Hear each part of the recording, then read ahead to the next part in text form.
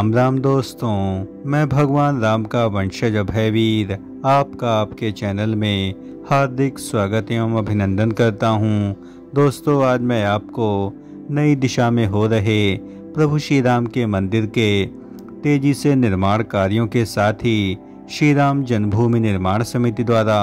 राम मंदिर के नए निर्माण कार्यों पर लिए गए बड़े निर्णयों के विषय में सबसे नवीनतम एवं एक्सक्लूसिव जानकारी प्रस्तुत करूँगा। राम लला भगवान की। श्री हनुमान जी महाराज की। जय जय श्री राम जय श्री राम जय श्री राम जय श्री राम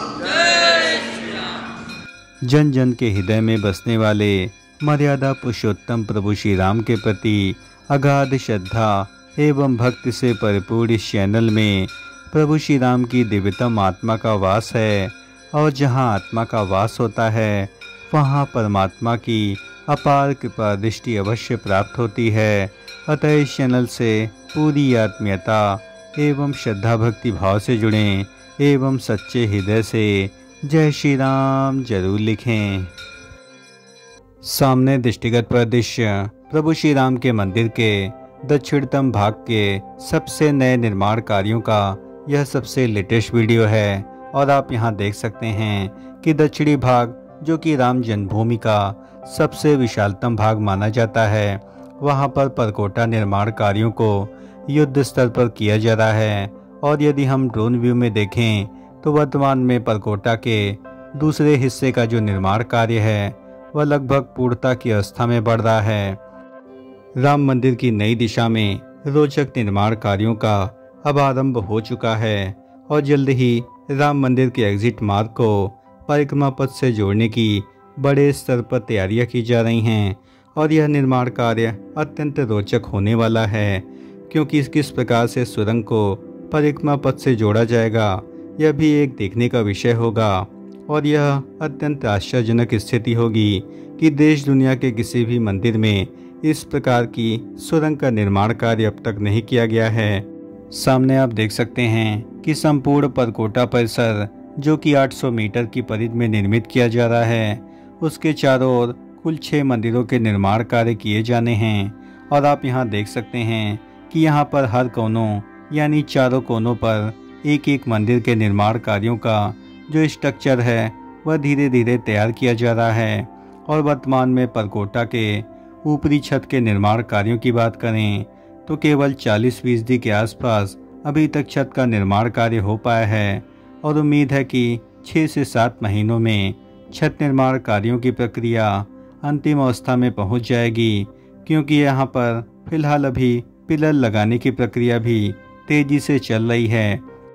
परकोटा में सुरंग के निर्माण कार्यों की बात करें तो लगभग 45 फ़ीसदी के आसपास सुरंग का निर्माण कार्य हो चुका है और राम मंदिर के प्रवेश द्वार, यानी प्रवेश बिंदु के नीचे, यहाँ पर सुरंग का निर्माण कार्य अंतिम अवस्था में पहुँच चुका है, क्योंकि यहाँ पर छत ढालने की प्रक्रिया अपने पूर्णता की अवस्था में है और दक्षिणी पश्चिमी एवं दक्षिणी पूर्वी भाग में अभी फ़िलहाल परकोटा परिसर के नीचे टनल बनाने का काम युद्ध स्तर पर जारी है। और टनल निर्माण की प्रक्रिया में सबसे पहले रिटेनिंग वॉल बनाई गई, जो कि पूर्णतया सीमेंट एवं कंक्रीट से निर्मित है, और इसे पूरा आरसीसी बनाए जाने का यही उद्देश्य है कि बाढ़ आदि की स्थिति में राम जन्मभूमि परिसर में पानी का आवागमन न हो और यह पूर्णतया सीलन मुक्त रहे।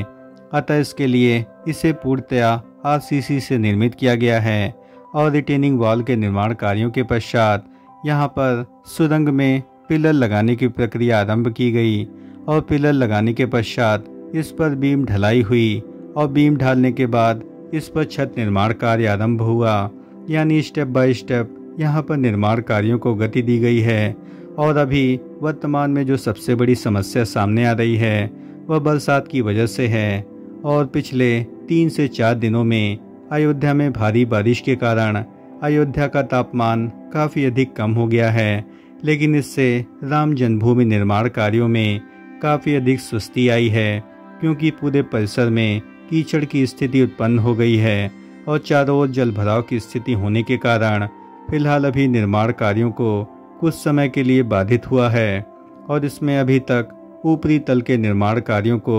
सापेक्ष तेज़ी से किया जा रहा है और परकोटा में फ़िलहाल जो छत निर्माण की प्रक्रिया है उस पर मुख्य रूप से फोकस किया जा रहा है और जो भी पत्थर परिसर में मौजूद हैं, उनके द्वारा परिसर में टनल में पत्थरों को लगाए जाने का काम तेज़ी से जारी है और टनल में पानी न भरे, इसके लिए भी विशेष तौर पर इंतज़ाम किए जा रहे हैं और और राम मंदिर का निर्माण कार्य इसी साल दिसंबर 2024 तक पूरा करने का लक्ष्य रखा गया है, लेकिन निर्माण कार्यों की गति को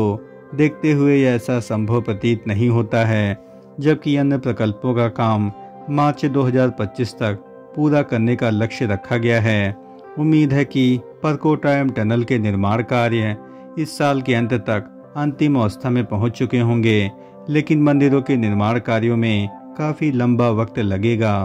और राम मंदिर परिसर में अभी तक राम मंदिर के प्रथम एवं द्वितीय तल का निर्माण कार्य पूर्णता की अवस्था में बढ़ रहा है। और तृतीय तल के निर्माण कार्यों को आरंभिक अवस्था में किया जा रहा है और वर्तमान परिस्थिति में प्रार्थना मंडप के निर्माण कार्यों को शीघ्रता से किया जा रहा है।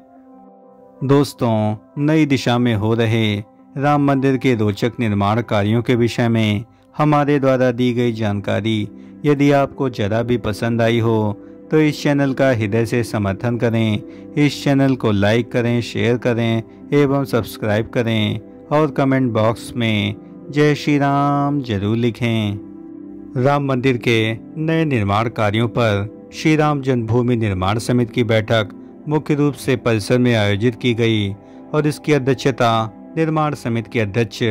निपेंद्र मिश्र जी ने की और उन्होंने अभी नए निर्माण कार्यों पर हमें जानकारी दी कि राम मंदिर परिसर में 800 मीटर लंबा परकोटे का निर्माण कार्य चल रहा है। और परकोटे में छह मंदिरों का निर्माण कार्य भी अभी प्रारंभिक अवस्था में है और इसके अलावा परिसर में सप्त मंडपम की भव्य स्थापना की जा रही है और जिसमें श्री राम के समकालीन सात ऋषियों के मंदिर भी बन रहे हैं और बारिश के साथ ये सभी कार्य प्रभावित हुए हैं और बारिश के कारण श्री राम जन्मभूमि परिसर के पश्चिमी छोर पर निर्माण कार्यों में लगी हुई मशीनें फ़िलहाल फंस गई हैं और परिसर में पानी निकालने का प्रयास तेज़ी से किया जा रहा है और बारिश की वजह से निर्माण स्थल पर मजदूरों और कारीगरों को पत्थर ले जाने में एवं कार्य करने में काफ़ी अधिक परेशानी हो रही है और जिसकी वजह से कुछ काम पूरी तरीके से रोक दिया गया है और मंदिर की दूसरी मंजिल का काम भी बारिश की वजह से प्रभावित हुआ है और राम मंदिर के ट्रस्टी डॉक्टर अनिल मिश्र ने बताया कि हालात सामान्य होने के बाद निर्माण की गति भी पहले की तरह हो जाएगी और मंदिर निर्माण की गति फ़िलहाल संतोषजनक स्थिति में है। राम मंदिर में 800 मीटर की परिधि में बन रहे परकोटा की जो सबसे बड़ी विशेषता है कि देश दुनिया के किसी भी मंदिर में इस प्रकार की तकनीक का इस्तेमाल नहीं किया गया है, क्योंकि राम मंदिर के परकोटे के ठीक नीचे जो सुरंग बन रही है, उसे 200 मीटर लंबा बनाया जा रहा है और यह टनल इतनी अधिक भव्य और खूबसूरत बनने जा रही है, जो कि इंजीनियरिंग का अद्भुत नमूना होगी, क्योंकि इसे पूरी तरीके से वाटर प्रूफ बनाया जा रहा है। और यहाँ पर लाइटिंग के लिए पहले से ही पत्थरों में छेद करके, यहाँ पर पाइपें डाल करके वायरिंग की जा रही है, ताकि परिसर में रात के समय भी भव्य लाइटिंग की व्यवस्था हो, क्योंकि यह अंधेरे वाला क्षेत्र होगा। अतः यहाँ पर 24 घंटे लाइट की सुविधा दी जाएगी। साथ ही इस परिसर को वातानुकूलित भी बनाए जाने की व्यवस्था की जा रही है।